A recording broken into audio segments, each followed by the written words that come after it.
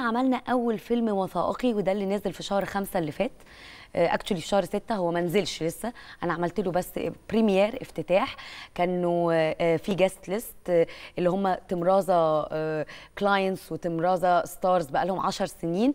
بنحكي على ال ال ال struggles المشاكل ال ال الإمكانيات ال achievements التحقيقات اللي قدرنا نوصل لها ال milestones الكبيرة اللي قدرنا نوصل لها. في الفيلم ده ورينا إزاي الموضة اتطورت في مصر وإزاي الموضة إزاي الموضة المصرية اتطورت في العالم. م.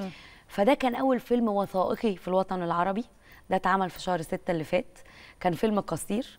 وأنا دلوقتي ب negotiate مع كذا قناة وكذا production house إنها تاخده لأنه هو فيلم واحد من نوعه وكل اللي جم especially ستات لأنه بيحكي قصة إزاي الستات تمكين المرأة مهم لأنها هي عنصر مهم في أي society في أي ثقافة في العالم.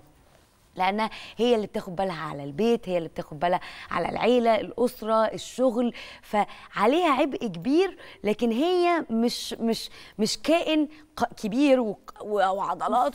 فدي حاجة كانت بالنسبة لي لازم أحتفل بيها. طبعا. فعملت الفيلم اسمه 10 years of evolution 10 سنين من تطوير.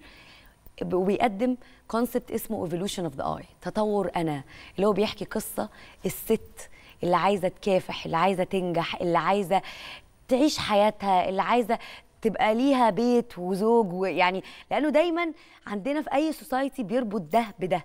لو عملتي ده يبقى مش هتعرفي تعملي ده. طبعا. هو صعب بس هو ممكن. طبعا. يعني حاجة مش مش مستحيلة. فحبيت إن أنا أحكي القصة دي. وفي نماذج كتيرة جدا بيكونوا ناس بتشتغل وناجحة جدا في شغلها وبرده ناجحة في بيتها واخده بالها من ولادها ويعني مظبوط ما أنا عشان كده وريت النماذج دي في الفيلم.